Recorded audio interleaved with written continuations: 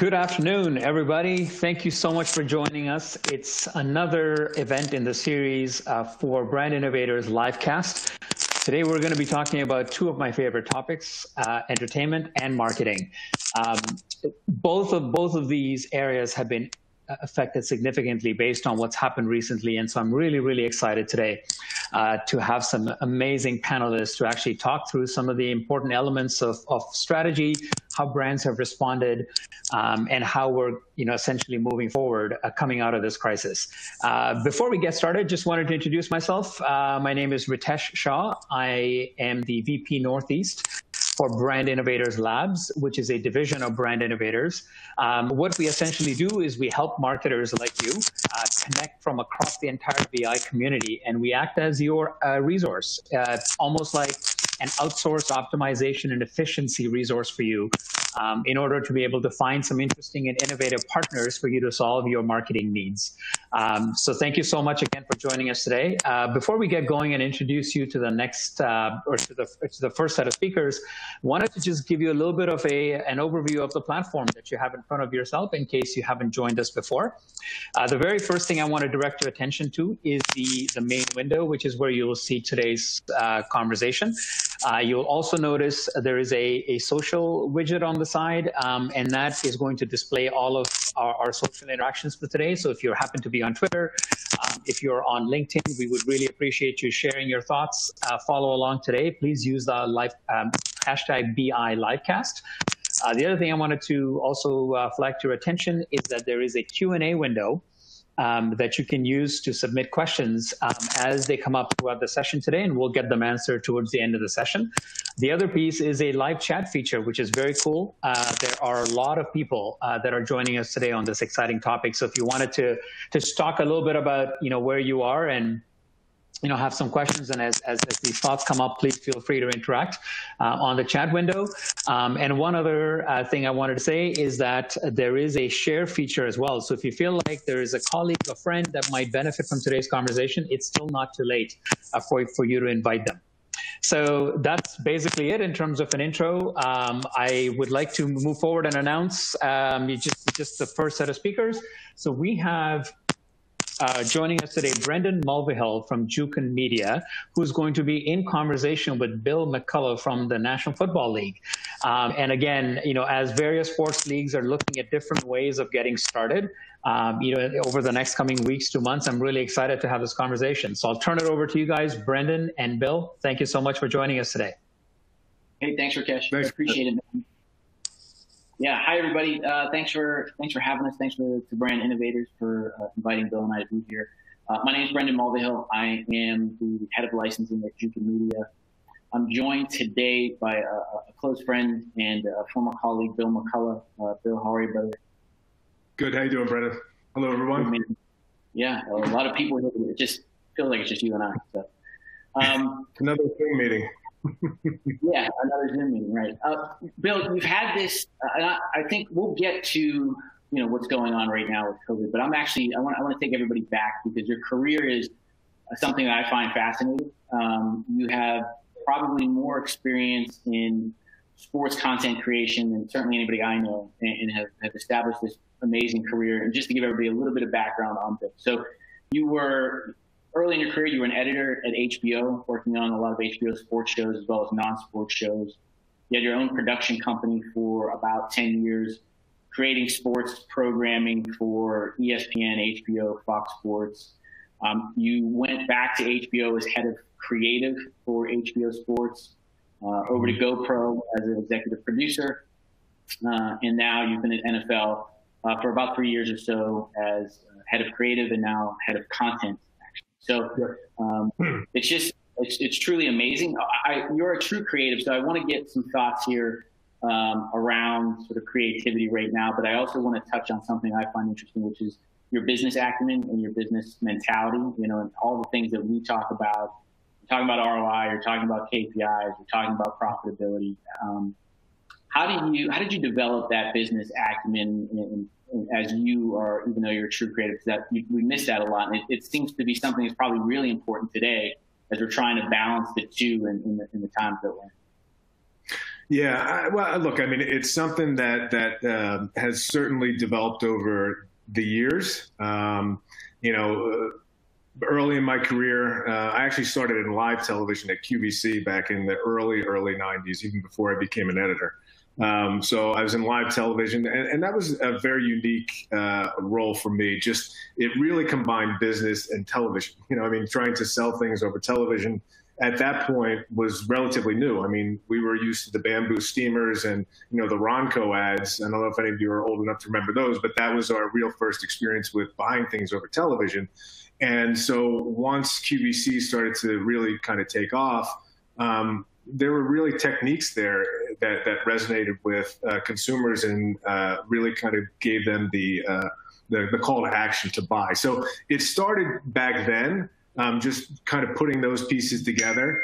Um, you know, for me, it was always about the art of creating something and the art of storytelling. Um, I'm a musician, so that that kind of rhythm to me and storytelling is super important. And as you start to play in the camera world and lenses, and and as an editor, I got to cut so many different directors and DPs footage that it was really for me uh, like a, a, just a, a master's in, in visual arts. And so as I started to get out of the chair and started to direct more, I really took that with me.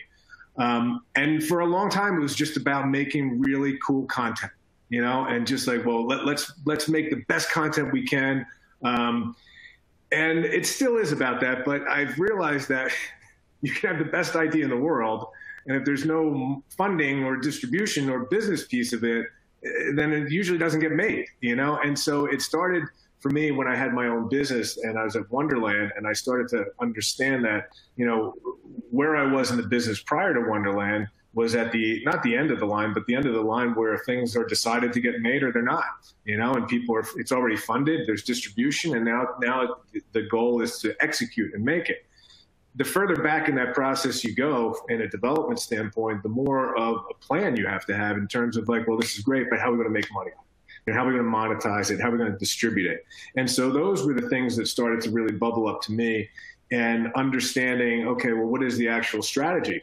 Um, that we're trying to achieve, you know. And at GoPro, this was a, a great um, for me. GoPro was just like a, a master's in, in digital media and strategy, because yes, we can make a great piece of content, but it was what is it for? You know, what is, what is the purpose of it? You know, uh, are we monetizing it? Is it to drive people to behave a certain way? And so I really started to get fascinated with that, uh, that end of it. And um, you know, now it's all about, uh, you know, for us, especially at, at the NFL, is trying to create content that we can monetize and we can get a return on.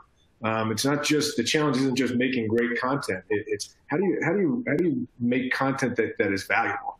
You know, and I think that is that is a large question because there's so much content out there, and with, with social playing such a huge role in consumption, um, you know, is it about how many likes we get, or uh, does that translate to value?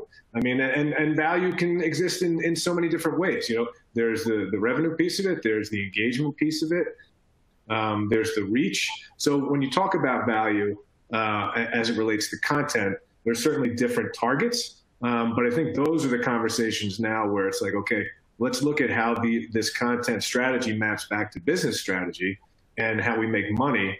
And those are the best chances. If we can align those things, that's the best chance to get your ideas uh, executed. So it really was almost born out of necessity. Like, okay, yeah. Right. Uh, it, it's. I'm curious. It, so let's let's go to GoPro for a second because we obviously were there for a couple years. I think we have some of our, our former GoPro friends uh, listening in. So GoPro's coming off with this wave of just tremendous brand value, right? And ultimately, we have to sell sell cameras. You made this move from a broadcaster at HBO to GoPro, and, and mm-hmm. ultimately had to like, we had to move cameras, right? That's what ultimately was, was, was the deal. What what was your what was your mandate coming in, and how did you? What was the vision and excitement that you had going from a, a broadcaster to to an actual brand?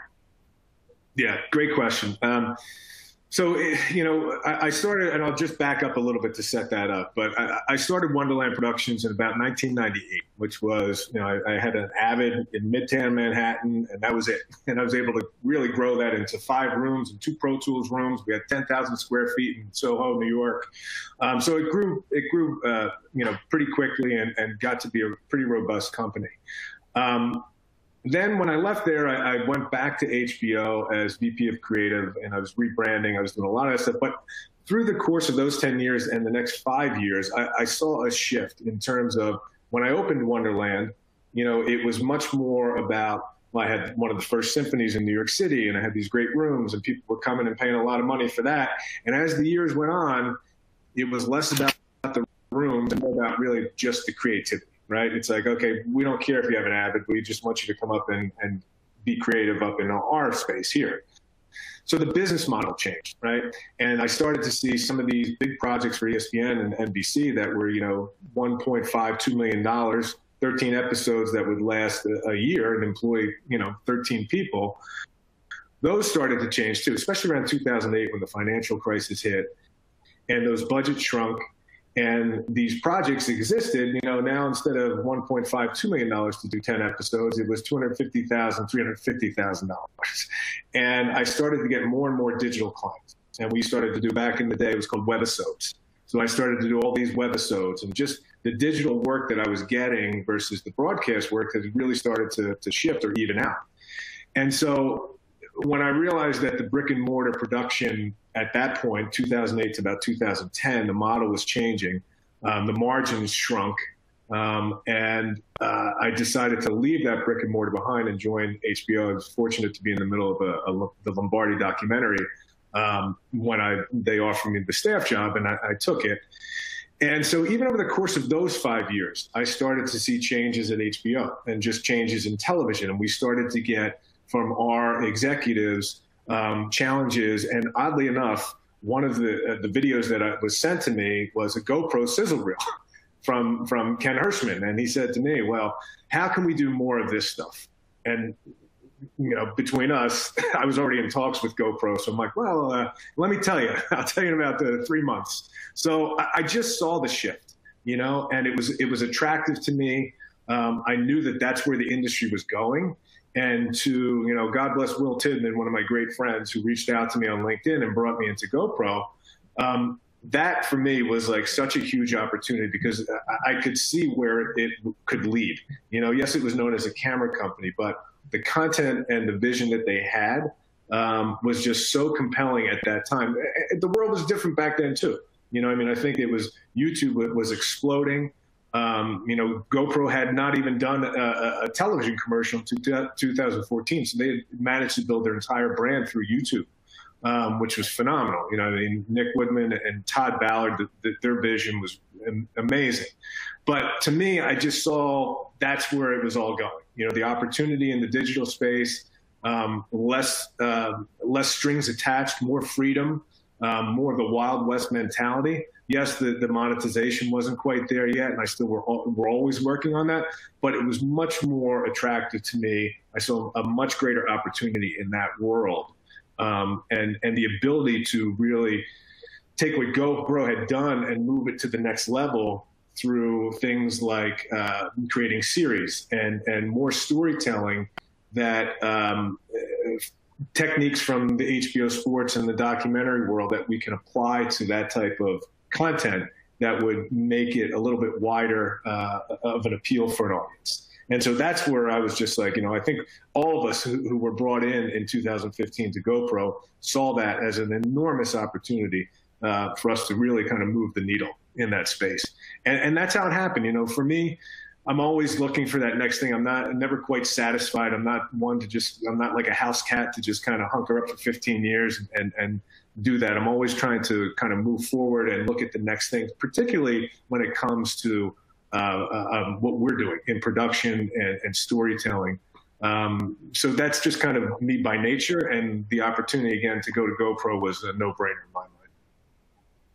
That's awesome. Uh, I want to talk about you touched on something in terms of expanding an audience, and I, would like to just focus on authenticity for a second. Right, at GoPro. Mm-hmm we were maniacal about maintaining authenticity, um, and uh, but also had to balance that with growing an audience. I feel like at the NFL, it's probably very similar, right? In the sense that NFL is so huge that you don't want to lose that core sports NFL guy who just loves the X's and O's. But at the same time, in order to keep growing, you have to develop different programming to reach new audiences, right? And I'm curious, can you, talk, can you talk to us a little bit about like that experience at GoPro, that experience at the NFL? How do you do that? How do you make sure that you're not alienating the core fan, but still trying to grow at the same time? Yeah. Well, I mean, look, at the NFL, we have the unique, I don't know if it's a problem, but, you know, there's 189 million fans worldwide, you know, 70 million of them considered avid fans. And when you look at that, I mean, it really encompasses everybody, you know, uh, old, young, red, blue. I mean, it, it is an enormous fan base. And so when we start to look at um, the consumption patterns and behaviors of, of this audience, that's really where, where the direction comes from. You know, you look at, uh, I, I, use this example all the time with, with, with uh, my 15 year old son, especially as it relates to live games. Um, on a Sunday, you know, he'll go, I, am I'll sit and I'll watch either Red Zone or I'll watch, uh, uh you know, the full games uh, pretty much all day. And my son will be, I'm not sure where he is, but I know he's not watching the games. He might be on Snapchat, he may be on YouTube, he may be on all these other platforms. But at the end of the day, we can sit there and we can talk about the game, right? It's kind of co-viewing, even though we didn't, we weren't in the same room, we weren't watching the same device or, or the same broadcast, but we're able to have that discussion and he consumed the game in the way he consumes it and I consumed it in the more traditional way. And so I think the point is when we look at the different uh, demographics as it relates to age. The younger fan is consuming the game in many much different than, than you or I when we were growing up. You know, Sunday comes, we're in front of the television pretty much all day for seven hours. Um, I don't know that that's necessarily the case. And so for us, we need to be present on these platforms in an authentic way that reaches these younger uh, fans um, as well as you know my father who's sitting there in the living room and he will sit there and watch for seven hours. So it, it becomes really interesting um, for us in terms of from a live game standpoint and, and, that's why you'll see you know two years ago we really opened up the cross carry distribution across all uh, mobile and you know we're seeing double digit growth there um, the Twitch, uh, you know, because of our Amazon relationship, now we're distributing games on Twitch fantastic. You know, and, and what Twitch is doing with the live game experience is super organic to that platform, and it's resonating. So I think when it comes to the live game, um, looking at the platforms we're distributing on, taking those opportunities, reaching people where they are. You know, I know it's overused, but fishing where the fish are. Um, that's really what we're looking for. When it comes to the shoulder programming and, and the other programming outside of the live games, that's also a little bit more um, uh, challenging for us, right? You know, you, our core NFL network and NFL platform fan is, is about the X's and O's, and that's really what they're looking for. They're looking for depth and focus on football, right? We're, we're really the only ones that 24 7, 365 days a year, we can talk about football. Uh, the ESPNs, the NBCs, they have to worry about football and basketball and hockey and all those other sports, but we, we can concentrate just solely on football. And so that also, you know, the, the, the range in storytelling from that core X's and O's game analysis to, hey, let's go with uh, Danny Amendola and, uh, uh, you know, to, to Mexico um, with a helmets off experience. And where, do, right. where does that end up? You know, so it's looking, and, and that's where our partners really come in, and what we're looking at, uh, and social also becomes a, a great kind of vehicle to introduce fans to players without helmets, right? But it has to be an, an organic uh, experience on that platform. Um, if that makes sense to you. Yeah, no, it, it, it does. No, no, it does. It makes a lot of sense. You, you're in this unique position with having NFL Network as part of NFL media and having to almost compete with yourself in some sense, the NFL, because you have ESPN, uh, you have uh, CBS, you have Fox Sports, and you can find NFL content in a number of different places. it sounds mm-hmm. like the differentiation point is you're you're going to that core fan, but at the same time, like how do you how do you differentiate from from those other other networks, and how do you get yeah. eyeballs not only on game day, but how do you get eyeballs uh, when it's you know middle of the week and there's a there's you know a bunch of other programming programming on on those yeah. Networks? Well, I, I mean, look. First off, we have amazing partners, right? And CBS and Fox and NBC and ESPN, um, and, and, so the relationship that we have with them needs to be complementary. We need to be supporting, you know, uh, their programming. Uh, it doesn't work if uh, Monday Night Football is on and we're putting something on NFL Network and, and we're getting more eyeballs on the network than we are on the games. It just is not the way the relationship's supposed to work. So anything that we do, we really need to be aware that um, there are partners, you know, and yes, there, there is a sense of them being competitors just because we're in the sports uh, storytelling world. But the trick is, how can we be complementary and not be stealing audience from them, but but provide that uh, something that they aren't able to provide? And I think it comes down, and we spent a lot of time over the past year talking about differentiators and, and what the NFL media positioning is in the marketplace. You know, and it really comes down to what I had mentioned before about this depth and focus of storytelling as it relates to football. You know, and we are the ones where you know, e- even when it comes to news, I don't know that we necessarily need to break the news as much as we really need to be the authority on, hey, did this really happen? Well, let me check out the NFL to see if this is if it's true. And we see a lot of our fans uh, use our platforms in that manner. They may hear news on Bleacher Report or ESPN or somewhere else, but then they'll come to us and say, hey, is this is this really happening? And if so, then they're going to get the deeper story you know, um, and, and that is in and of itself, I think, a, a, a, huge differentiator in terms of what we can provide in the marketplace and to fans versus what an ESPN or NBC or, or CBS or Fox can provide. Got it.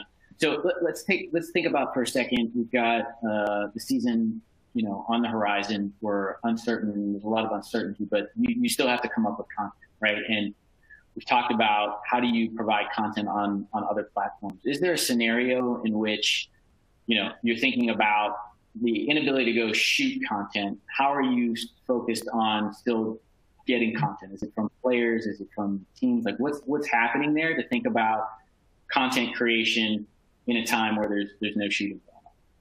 Yeah. So, I mean, I think it's a combination of both. I mean, as you know, being in the licensing uh, business, Brendon, uh, NFL Films Vault is just extraordinary. I, I, mean, the amount of footage that exists um, is just mind blowing.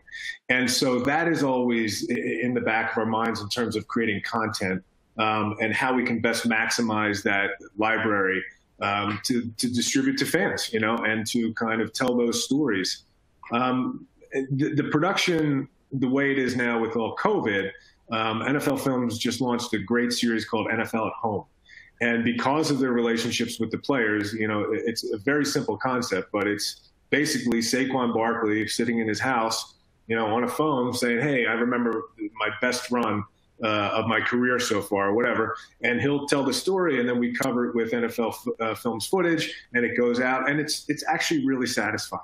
You know, I think that there's that level of, of this type of connection where we're in Saquon's house or whether it's Tyrann Mathieu or whomever is participating, and you get that one-on-one connection, but then you see this amazing footage and they're talking about moments in their career or they're talking about draft or they're talking about, uh, you know, a bunch of different topics. But it's a great example of how we're marrying uh, the current situation and being able to tell stories with the, the archive footage that, that exists. So a yeah. lot of that type of thinking is going on right now. How do you? It, it, feels like that. That's that is very geared towards core, you know, fans and, and helping them get closer to their their athletes. And, and one of the things I noticed, I'm curious your thoughts on some of the other leagues. The NBA has done a really great job of making their content available, right, for for fans to use in some capacity. I think the NFL is probably a little, you know, restricts that usage a little bit more. We've seen the NBA grow a tremendous amount on, on social. Are, are, you guys thinking about how do you how do you create a closer connection with the fans using using content and, and giving them the opportunity to, to do more with it, and then involving the fans within the programming maybe that, that you're talking about? Yeah. So, I mean, when, when you talk about the NBA, and, and they've done an amazing job, even from a social standpoint, you know, um, but there's a couple differences, you know, I mean, you've got guys in shorts with no helmets. Um, there's only, you know, five guys on, a, on the floor on a team out there. Football's different, you know, you're in the gear, you've got the helmets on, there's, there's 22 guys out there. Um, you're much further away. Um, and, and, so that the ability to, to, uh, to put out helmets off content and, and, get people to recognize football players, there's a challenge there. There's an innate, cha- uh, uh, an inherent challenge there due to the, the nature of the sport. But what, what we're noticing is this younger demo is really starting to uh, be player first fans. So when you look at, at some of the younger fans, um, back in the day, if it were, um, you know, uh, Ron Jaworski plays for the Eagles, now he's traded to the Cowboys. Well, I'm not I'm not a Ron Jaworski fan anymore. He's been playing for the Cowboys. I, I, I don't like the Cowboys, right? I don't think you see that that much anymore, uh, especially with younger fans. OBJ's on the Giants. He gets traded to the Browns. Hey, I'm still following OBJ on Instagram. I'm still following him on Twitter.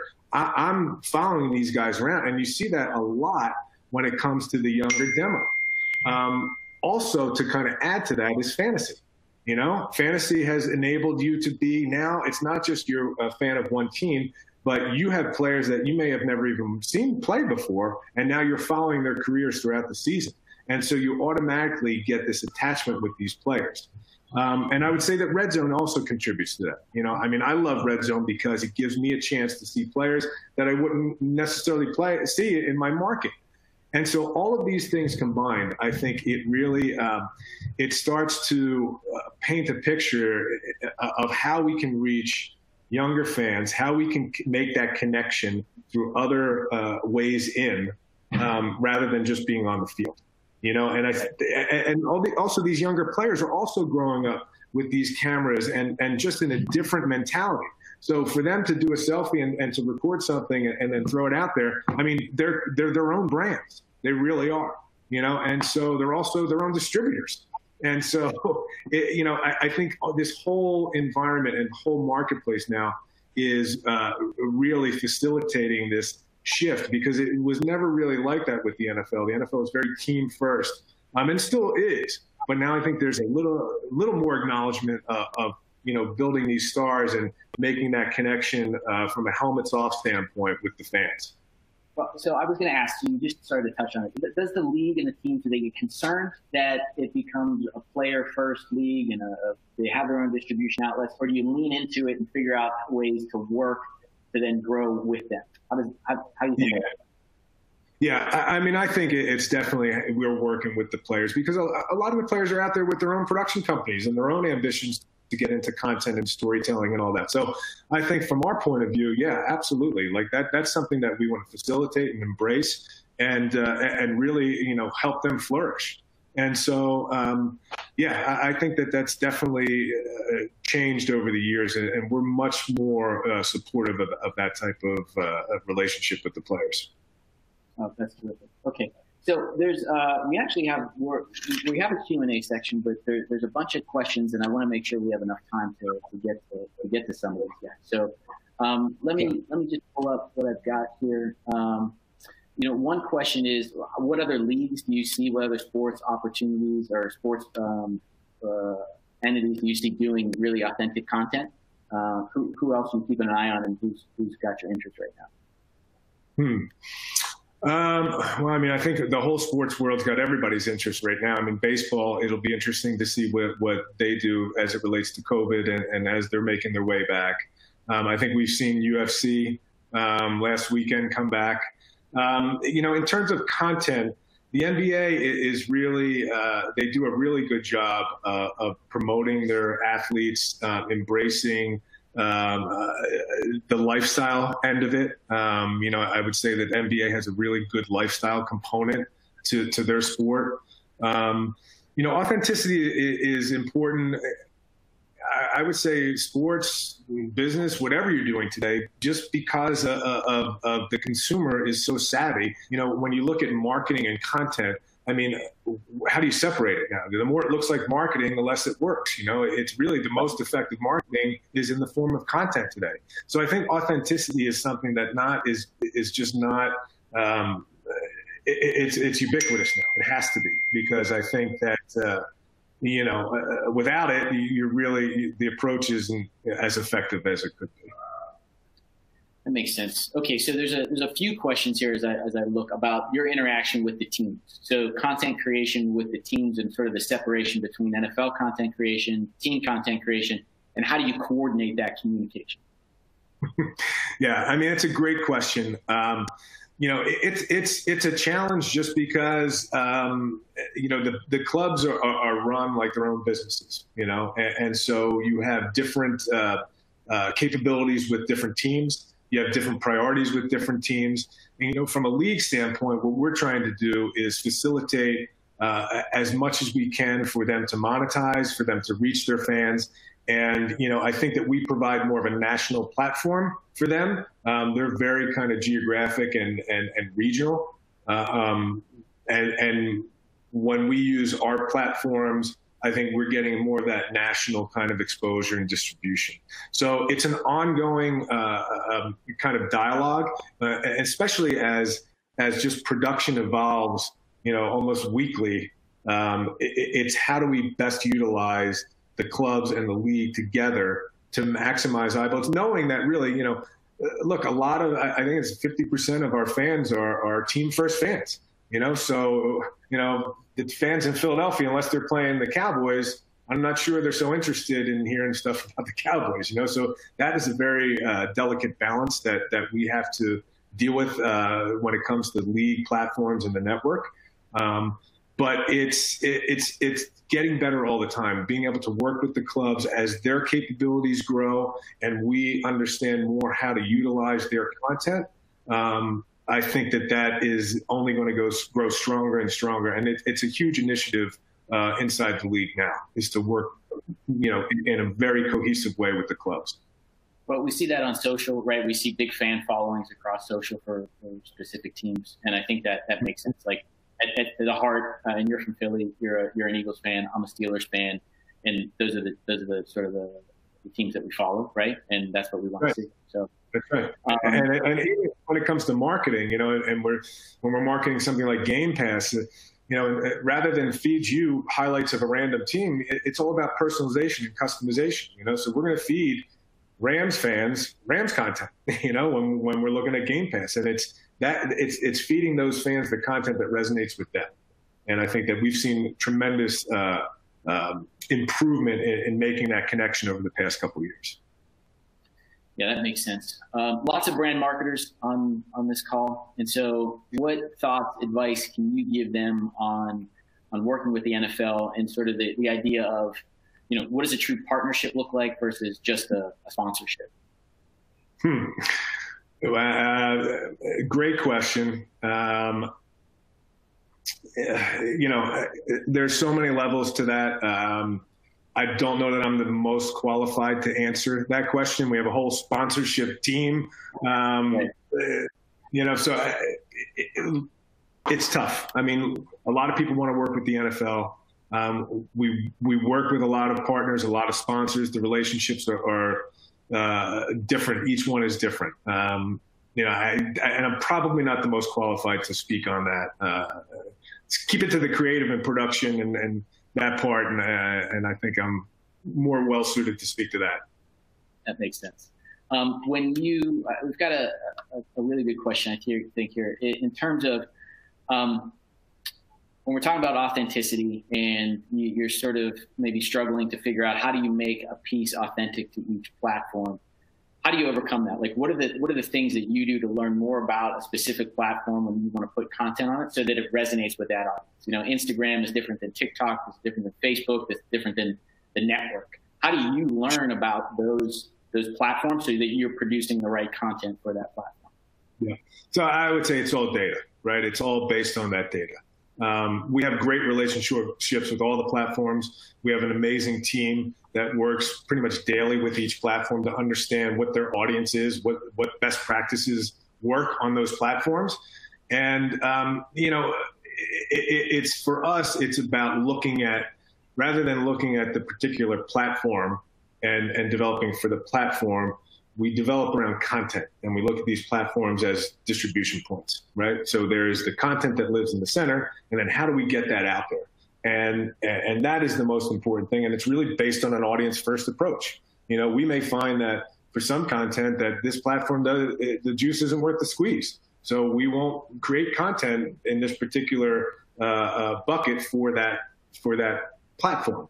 Um, but it comes down to understanding the audience, you know, and getting that data and understanding the behaviors and consumption patterns of that audience, and then how does that content fit on that platform? And is that the audience you're going after? You know, so it, it's a real. We, we start with the audience first. It really has to start with the audience, and then the best practices are, you know, per platform. I, I, think we're all getting used to what those best practices are now. It's not rocket science, but uh, you know, I think that is it's just an audience first approach. So if we, and this is a bit of a self-serving question. Um, so we've talked about this before in terms of involving the fans in that that content experience and, and yeah. the idea of fan, fan content because there's so much being created, right? They're at the bars, they're at home, they're at the games, we're recording it, we're putting it out into the world. How how are you thinking about that? Is that something that's top of mind in terms of how you integrate fan content and fan experience within the content that you're creating? Yeah, absolutely. And I think on, the club level, that's that's a lot more. Um, they're focused on that, and they can tell those stories a little better. Um, two years ago, we did a, a, series for Thursday Night Football called TNF Presents, and the idea was to put out content on a Thursday that would kind of act as you know a little trailer for the game, but it didn't really have any football in it. It was more about uh, connecting the club, the city, and the fans. And so we identified um, interesting fan aspects for each of these. You know, if the game was on a Thursday night in Cincinnati, and we did a, a really cool piece on, on this guy JB, um, who was uh, he used to just hang outside the locker room when Paul Brown was there. Paul Brown took a liking to him, brought him under his wing, and 45 years later, he's still running the team out onto the field. The guy's like 75 years old. So it was a it was a great way to tell the story about fandom um, to kind of give the city and the team a place of, of location and just make that connection between all three. And, and we did that uh, for 10 games throughout the, the 2018 season, and it, it, was fantastic. It really, the engagement was there. We got tons of earned media just from locally. Uh, the, the, local news picked it up, and they loved the stories. So it was a it was a great way to utilize uh, those fan stories um, on a national level to point at specific games. But clubs kind of do a better job of, of tapping into their fan base. Yeah, it's, it's it'll be interesting uh, to see you know as we and uh, just talking about more involving the fans as, as we move towards the season and we think about you know how things change. You think there and this is a question that was asked. You think virtual watch parties uh, are something that, that we start to think about. How do you put fans together and to watch their, their teams maybe on Twitch or Amazon or something like that? Does that feel like a thing? No, I mean, look, I, I I love that idea, and that because you know the thing to me is about watching the game with your friends. It's it's the energy, it's it's the being able to react to to what's happening on the field, and if there are no fans in the stadium, that becomes really difficult. But I think we're getting more and more conditioned to this type of environment. And so, you know, if if we are playing with no fans in stadiums, uh, then watch parties to me seems really logical, you know, and it seems like something that as a fan I would be interested in. If I can get an Eagles watch party, especially uh, you know for, for fans that may be out of market or whatever, but I, I think that's that's part of the uh, the camaraderie and the excitement uh, uh, that that football brings is, being able to have that group dynamic and that that excitement together and celebrating together. I mean, you, you go to a you know, uh, you go to a, you go to an airport. You, you, could have a conversation for a half hour with somebody, and not even know them, just based on the Eagles, or you know, and, and that's what football does. It brings you together, and I think that's part of the magic that I don't know that digital fans or even fake crowd noise can can replace. Um, but that's the bond and the connection that exists in, in the NFL fan universe. Yeah, I can't wait for it, man. I'm super excited. I hope that we can get back to normal and that we can have those conversations and we can argue who's better, the Steelers or the. the, the That's right. Uh, so, uh, All right. Well, listen, Bill, it, I could talk to you all day, man. Uh, and there's a lot more of your career and a lot more the, to, to, discuss. So hopefully we can do this another time. Uh, thank you for joining us. Uh, everybody, thank you for, for all the questions. And uh, we'll bring back in uh, Rakesh to take us to the next, uh, next segment. Thanks, everyone. Brendon, thanks so much, man. Ritesh, thank you for having me. Appreciate it. Absolutely. Thank you so much for a great conversation. Brendon, thank you very much. Bill, that was awesome. Some great insights. I always love hearing from sort of the inner workings of there's so much thought that goes behind all of this stuff. So thank you so